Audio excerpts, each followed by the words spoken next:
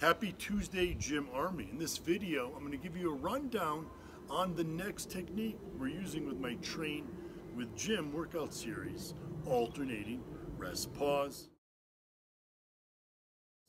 I'm going to show you how to do it with bands, but again, you can do this with any version, dumbbells, cables, or even machines.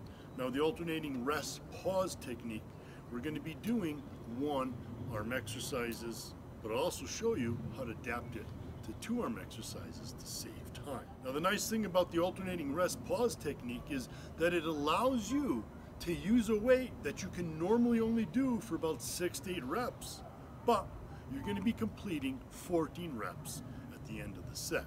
How's that possible? All comes down to the way you're doing the alternating rest pause technique.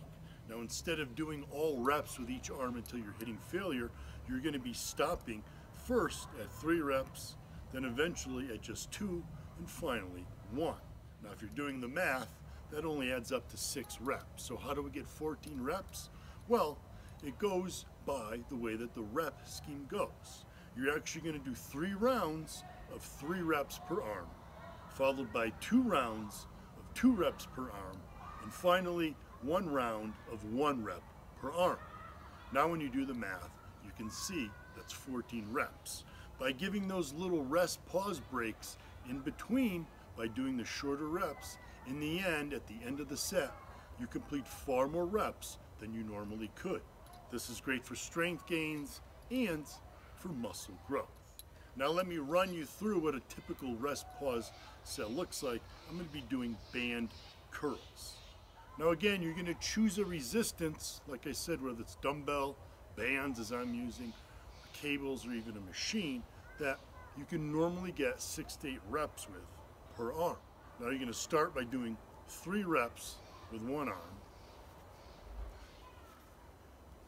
and then you immediately go into three reps with the opposite arm. Now the other arm is resting while the other arm is exercising. Then you go back to the right arm for three more reps, take a break, back to the left arm, three more reps, take a break, and then back to the right arm for a final round of three reps, back to the left for three.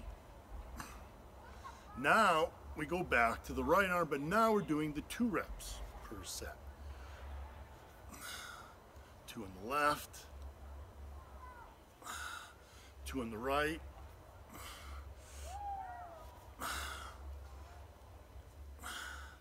And now we do our final round of one rep per arm. And if you chose the weight properly, you should hit muscle failure on that 14 rep.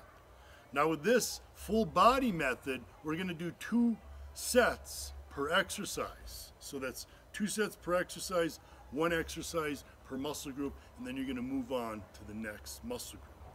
Now we'll be doing this technique for the next six workouts starting tomorrow that's Wednesday, so today's your scheduled rest day. Learn about the alternating rest pause technique, give it a practice run if you want, and then get ready for six brutal days of workout. Now the nice thing about using this technique next up in the Train with Jim series is we were using very light weight with the hundreds training. Prior to that we were going pretty heavy with HIIT. Now we're moving back into heavy weight here, but still completing higher reps thanks to that rest pause technique. So get ready for six days of alternating rest pause workouts with me. I'll be doing them right up here at camp until I get back next week and I'll take it back to the gym. You can see how I adapt these exercises no matter where I am. No excuses guys. Train with Jim and as always, stay JYM Army strong.